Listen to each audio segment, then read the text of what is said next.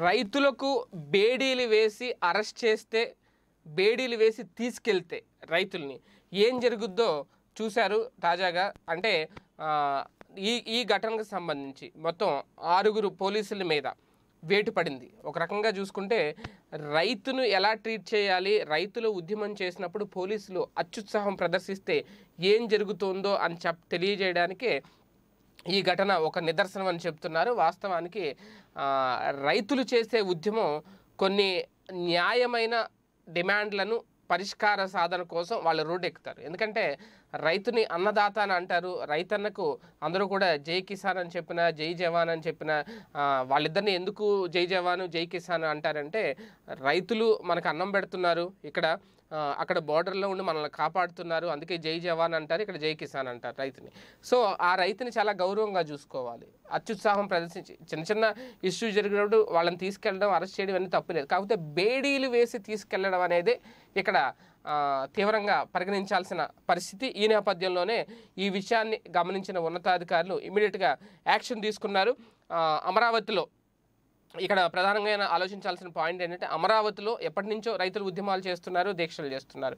అమరావతి పూర్తి రాజధానిగా ఉండాలి. అయితే ఇక్కడ మూడు రాజధానులు ఏర్పాటు చేయాలి అంటూ కూడా అమరావతిలో ఇప్పుడు కొంతమంది రైతులు దీక్షలు చేయడం. ఆ నేపథ్యంలోనే వాళ్ళ మీద అరెస్టులు చేయడం.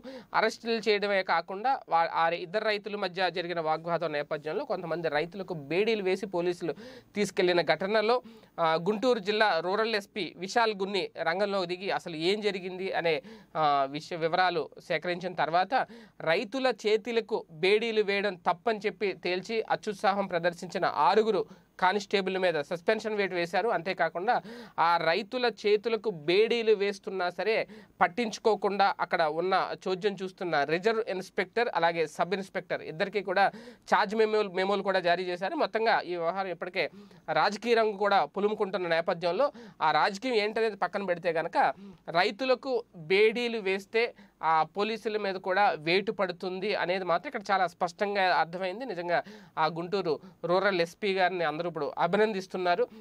విశాల్ గున్ని తీసుకున్న నిర్ణయం నిజంగా రైతులు హర్షించదగ్గదిగా ఉంది అనేది. ఎందుకంటే అక్కడ ఏదైనా వివాదం చోటు చేసుకున్నప్పుడు దాన్ని సద్దుమణిగించే వరకు వాళ్ళని తీసుకెళ్ళడం మళ్ళీ వదిలేయడం అనేది కామనే. అంతే తప్ప ఏదో పెద్ద నేరాలు ఘోరాలు చేసేసినట్టు బేడీలు వేసి తీసుకెళ్ళడం అనేది కరెక్ట్ కాదు అనేది పోలీస్ శాఖ చెప్పడం వాళ్ళ మీద యాక్షన్ తీసుకోవడం నిజంగా ఇప్పుడు రాష్ట్ర వ్యాప్త ప్రజలందరూ కూడా హర్షించదగ్గ పరిణామమే.